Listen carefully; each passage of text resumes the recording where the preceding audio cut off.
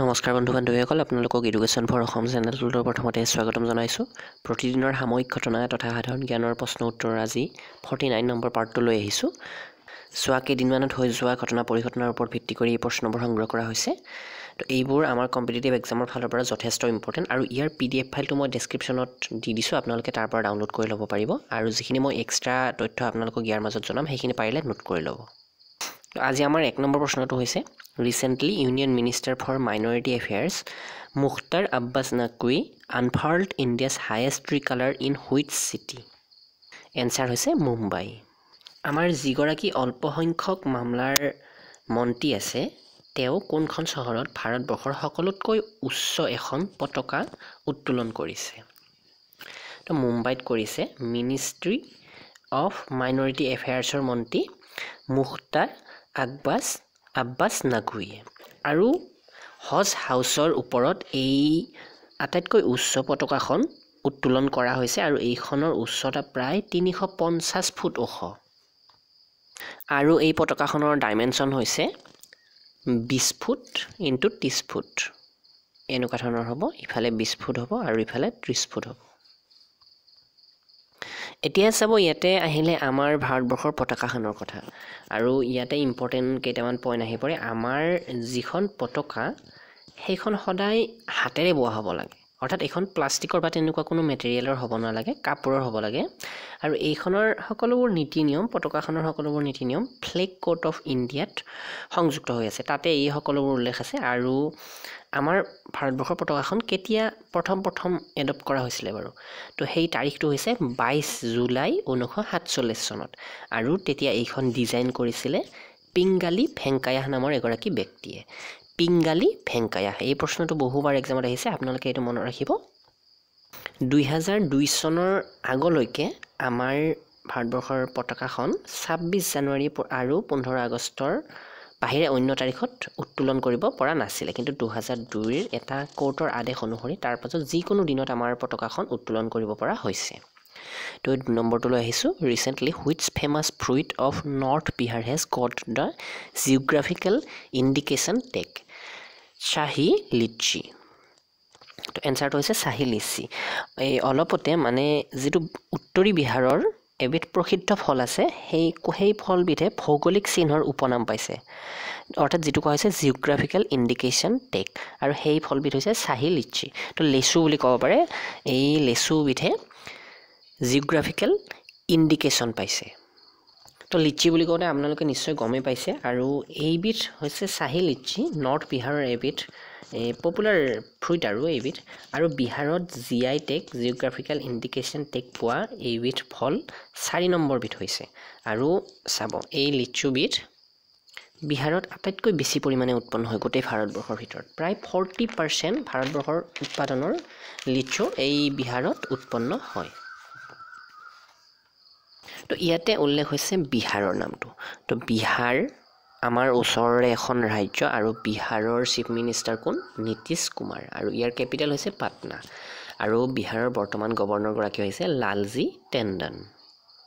তিনি নম্বৰ প্ৰশ্নটো হৈছে what is the trade name of affordable water disinfection system recently developed by C S I R Onir T M এই অনাৰ T M বিধে হৈছে সেইটো নাম যিটো অলপতে চি এছ আই আৰৰ দ্বাৰা বিকশিত কৰা সহজলভ্য জল কীটাণু শোধন এবিধ প্ৰণালী। আৰু এই প্ৰণালীবিধৰ ব্যৱসায়িক নাম হৈছে অনাৰ টি এম এইটোৰ বিশেষ কাম হৈছে আমি যিটো পানী খাওঁ এই পানীবিধত যিমানবোৰ বীজাণু থাকে সেই বীজাণুবিলাক কম খৰচতে নাশ কৰা। আৰু এই যিটো ছিষ্টেম এই ছিষ্টেমটোৰ নামেই হৈছে অনাৰ টি এম আৰু এইটো চি এছ আই আৰ আৰু ইণ্ডিয়ান ইনষ্টিটিউট অফ টেকন'লজিয়ে লগ লাগি এই টেকন'লজিটোৰ ডেভেলপ কৰিছে। খোৱা পানী পৰিশোধন কৰিবলৈ খোৱা পানীত থকা ভাইৰাছ বেক্টেৰিয়া আৰু বিভিন্ন বীজাণুবোৰ যাতে কম খৰচতে নাশ কৰি বিশুদ্ধ পানী আমি খাব পাৰোঁ তাৰ কাৰণে এটা প্ৰয়াস কৰিছে বা এই যিটো ছিষ্টেম এই ছিষ্টেমটো উলিয়াইছে। তো এইটো বিশেষকৈ উলিয়াইছে চি এছ আই আৰ আৰু ইণ্ডিয়ান ইনষ্টিটিউট অফ এই টেকন'লজি নহয় একচুৱেলি টক্সিক'লজি টক্সিক'লজি মানে নিশ্চয় বুজি পাইছে যিটো বি চি আদিৰ ওপৰত অধ্যয়ন কৰে তেওঁলোকে তাৰে ওপৰত ৰিচাৰ্চ কৰে। আৰু চি এছ আই আৰৰ ফুল ফৰ্ম হৈছে council of scientific and industrial research এই যিটো অনাৰ টি এম টেকন'লজি এইটোৱে এক লিটাৰ পানী দুই পইচাৰতে পৰিশোধন কৰিব। ইমান কম খৰচতে হ'ব তাৰমানে। আৰু ইয়াতে কৈছে যে এফৰ্ডেবল যিটো সহজতে ক্ৰয় কৰিব পৰা যাব।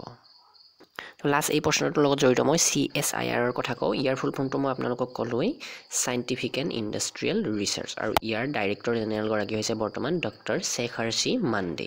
আৰু ইয়াৰ কৰ্পৰেট অফিচটো আছে নিউ দিল্লীত চাৰি নম্বৰ প্ৰশ্নটো হৈছে name the largest and the most massive structure a galaxy proto super cluster recently discovered by the scientist at the European southern observatory এখন আকাশী গংগা অৰ্থাৎ তাৰকা ৰাজ্যৰ আদ্য অধিপুঞ্জ আৱিষ্কাৰ কৰা হৈছে মহাকাশত যিখন কৰা হৈছে ইউৰোপিয়ান চাউথাৰ্ণ অবজাৰ্ভেটৰীত থকা বিজ্ঞানীসকলে বা তাৰ পৰা বৈজ্ঞানিকসকলে এই তাৰকা ৰাজ্যখন আৱিষ্কাৰ কৰিছে মহাকাশত আৰু এইখনৰ নাম কি? এইখন আটাইতকৈ ডাঙৰ এতিয়াতকৈ যিমানবোৰ আৱিষ্কাৰ হৈছে সকলোতকৈ ডাঙৰ আৰু গধুৰ বুলি কৈছে। তো এইখনৰ নাম দিয়া হৈছে হাইপেৰিয়ন। এই যিখন হাইপেৰিয়ান আৱিষ্কাৰ কৰা হৈছে এইখন আমাৰ যিখন গেলেক্সি ইয়াতকৈ বা আমাৰ যিটো সূৰ্য আছে আমাৰ সূৰ্যতকৈ বিলিয়ন টাইম ডাঙৰ আৰু আমাৰ গেলেক্সিখনৰ তুলনাত চাবলৈ গ'লে মিলিয়ন টাইম ডাঙৰ হ'ব। আৰু ইয়াতে বহুতো গ্ৰহ উপগ্ৰহ আছে তাৰে ভিতৰত প্ৰায় এহেজাৰ আঠচল্লিছটা জুপিটাৰৰ সমান অৰ্থাৎ বৃহস্পতিৰ সমান ডাঙৰ ডাঙৰ গ্ৰহ আছে। আৰু পৃথিৱীৰ সমান চাবলৈ গ'লে তিনি লাখ তেত্ৰিছ হাজাৰটামান গ্ৰহ আছে। ইয়াতে কেইটামান ইম্পৰ্টেণ্ট পইণ্ট হৈ পৰে যে আমি এনেকুৱা ধৰণৰ মহাকাশৰ ক্ষেত্ৰত দূৰত্ব জুখিবলৈ কি একক ব্যৱহাৰ কৰোঁ সেইটো হৈছে পোহৰ বৰ্ষ। আৰু পোহৰ বৰ্ষ যিদৰে আমি ব্যৱহাৰ কৰোঁ তাৰে ভিতৰত আটাইতকৈ ডাঙৰ যিটো একক আছে সেইটো হৈছে পাৰ্চেক ৰেলৱে এক্সামত আমাৰ আহি আছে এইটো। One light year equal to কিমান kilometre?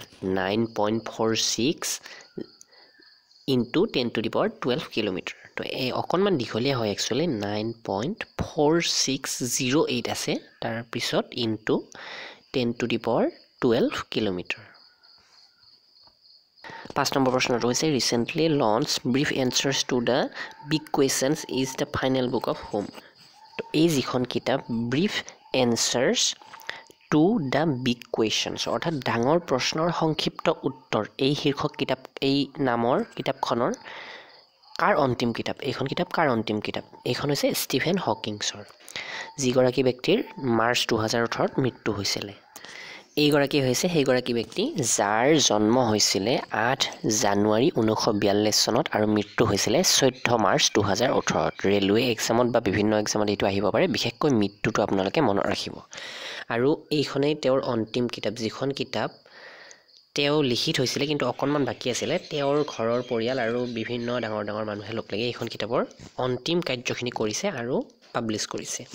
Brief answers to the big questions Stephen হকিন্সৰ কথা আপোনালোকে নিশ্চয় শুনিছে। এওঁ এগৰাকী বিখ্যাত চাইণ্টিষ্ট আছিলে আৰু এওঁৰ এখন অতি বিখ্যাত কিতাপৰ নাম হৈছে a brief history of time এই কিতাপখনৰ নাম সকলো এক্সামতে আহি থাকে।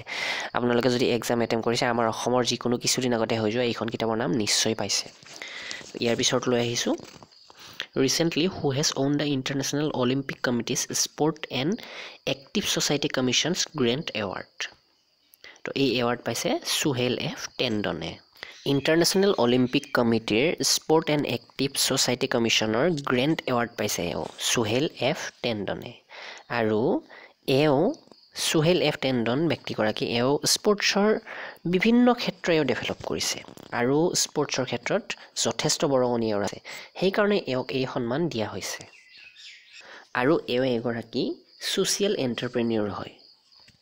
তো ইয়াতে আমাৰ কাৰণে এটা ইম্পৰ্টেণ্ট প্ৰশ্ন হ'ব পাৰে এটা মানে ভালেকেইটা হ'ব পাৰে ইণ্টাৰনেশ্যনেল অলিম্পিক কমিটি তো এই অলিম্পিক কমিটিৰ গঠন কেতিয়া হৈছিলে বাৰু? বহু আগতে হৈছিলে তেইছ জুন ওঠৰশ চৌৱান্ন চৌৱান্নব্বৈ চনতে হৈছিলে এইটিন নাইণ্টি ফ'ৰতে হৈছিলে।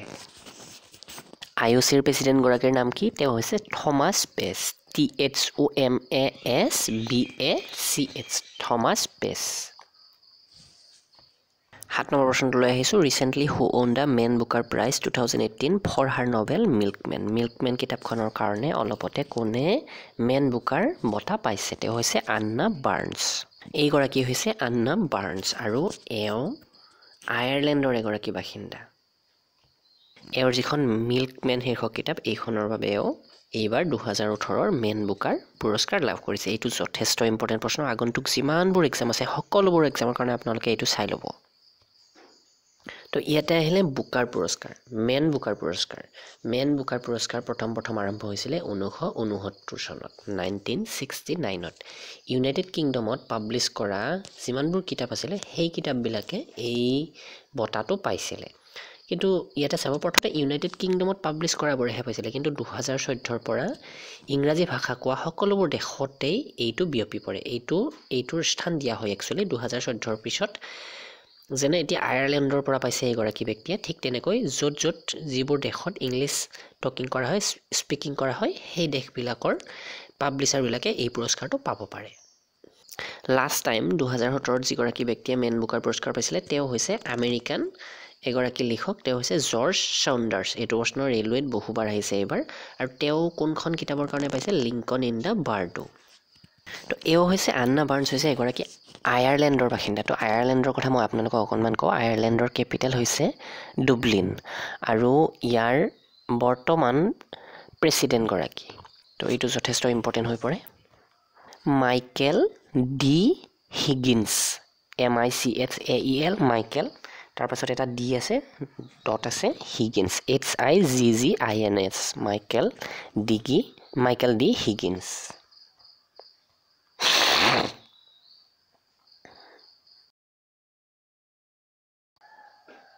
আঠ নম্বৰ প্ৰশ্নটো হৈছে recently the ocean clean up foundation has put up which's pipe to collect the plastic in the middle of the Pacific ocean the ocean clean up ফাউণ্ডেশ্যনে এডাল নলিকা অৰ্থাৎ এডাল পাইপ ডাঙৰ বৰ ডাঙৰ এডাল পাইপ প্ৰশান্ত মহাসাগৰত স্থাপন কৰিছে। যিডাল পাইপে প্ৰশান্ত মহাসাগৰৰ প্লাষ্টিক জাতীয় জীৱনবোৰ আৱৰ্জনীয় আছে সেইবোৰ একগোট কৰি তাৰ পৰা সেইবোৰ নিষ্কাশন কৰিব।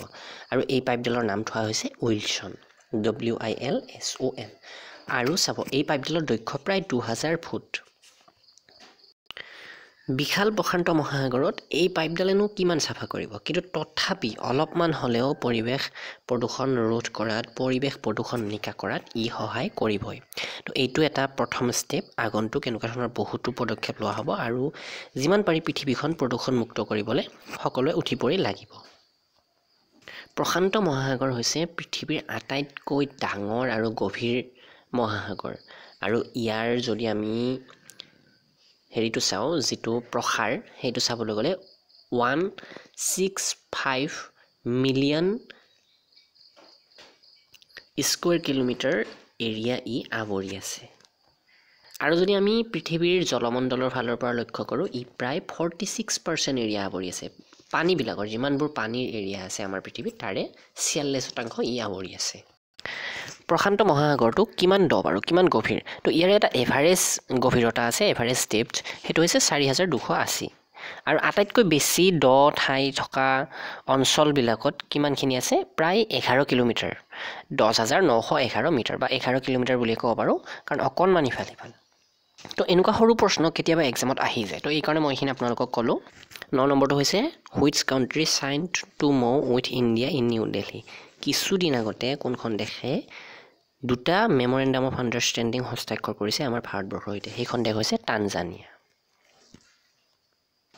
তো এইটো এটা দৃশ্য নৰেন্দ্ৰ মোদীদেৱ আৰু তাৰে এগৰাকী উচ্চ পদস্থ ব্যক্তি যিগৰাকী হৈছে টানজানিয়াৰ প্ৰাইম মিনিষ্টাৰ তেওঁৰ নাম হৈছে কাছিম মাজা মাজালিৱা কাছিম মাজালিৱা আৰু ইয়াতে মেপত চাওক এইখনেই হৈছে টানজানিয়া এখন ছাউথ আফ্ৰিকান দেশ হয় ইয়াৰ কেপিটেল হৈছে ডোডোমা।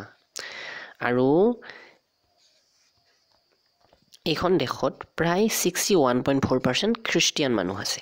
ইয়াৰ প্ৰেচিডেণ্টগৰাকী হৈছে জন মেগুফুলি আৰু ইয়াৰ প্ৰাইম মিনিষ্টাৰগৰাকী হৈছে মই আপোনালোকক ফটোত যিগৰাকী দেখুৱাইছোঁ কাছিম মাজালিৱা। আৰু ইয়াৰ কাৰেঞ্চি হৈছে টানজানিয়ান চিলিং আজিৰ লাষ্ট প্ৰশ্নটো হৈছে recently which state maritime symposium two thousand eighteen inaugurated by chief of naval staff অলপতে কোনখন ৰাজ্যত মেৰিটাইম চিম্প'চিয়াম টু থাউজেণ্ড এইটিনৰ উদ্বোধনী কৰা হৈছে? আৰু কোনে কৰিছে? নৌসেনাৰ প্ৰমুখজনে তো এইটো কৰা হৈছে গোৱাত তো ইয়াতে আহিলে চিফ অফ নাভাল ষ্টাফ তো এওঁ কোন? এওঁ হৈছে সুনীল লানবা। আৰু ইয়াতে মেপত চাওক এইখনে হৈছে গোৱা। দুখন জিলা আছে ইয়াতে নৰ্থ গোৱা আৰু চাউথ গোৱা। এইখিনিত আছে গোৱা আমাৰ ভাৰতবৰ্ষৰ আটাইতকৈ সৰু ৰাজ্য যিখন। এইখন এষ্টাব্লিছ হৈছিলে ত্ৰিছ মে' ঊনৈছশ সাতাশী চনত। ইয়াৰ কেপিটেল হৈছে পানাজী। আৰু ইয়াৰ এখন আটাইতকৈ ডাঙৰ চহৰ আছে ইয়াৰ এই ৰাজ্যখনৰ চহৰখন ফাস্কোডা গামা যিখনৰ নাম ৰখা হৈছে। ফাস্কোডা গামাৰ কথা আপোনালোকে নিশ্চয় জানে। আৰু ইয়াৰ গভৰ্ণৰগৰাকী হৈছে মৃদুলা সিনহা আৰু চিফ মিনিষ্টাৰ কোন? মনোহৰ পৰিকাৰ। গোৱা ৰাজ্যখনৰ নাম লওঁতে আপোনালোকে এটা কথা মনত ৰাখিব। গোৱা ৰাজ্যখনৰ যিটো liberation day Goa liberation day এইটো যথেষ্ট ইম্পৰ্টেণ্ট বহু এক্সামত আহিছে। ঊনৈছ ডিচেম্বৰটো হৈছে গোৱা লিবাৰেশ্যন ডে গোৱা মুক্তি দিৱস। কাৰণ কি গোৱা ৰাজ্যখন আটাইতকৈ পিছত স্বাধীন হৈছিলে। ঊনৈছশ এষষ্ঠি চনত ভাৰতবৰ্ষই ইয়াক ভাৰতবৰ্ষৰ লগত চামিল কৰি লৈছিলে। কাৰণ ইয়াতে পৰ্তুগীজসকলে তেতিয়ালৈকে শাসন কৰিয়ে আছিলে। পৰ্তুগীজসকলে তেওঁলোকৰ সাম্ৰাজ্য চলায়ে আছিলে। তো বন্ধু বান্ধৱীসকল আজিৰ ছেশ্যনটো ইমানখিনি আছিলে। মই যিমানখিনি পাৰোঁ আপোনালোকক সংলগ্ন তথ্য আগবঢ়াব চেষ্টা কৰিলোঁ।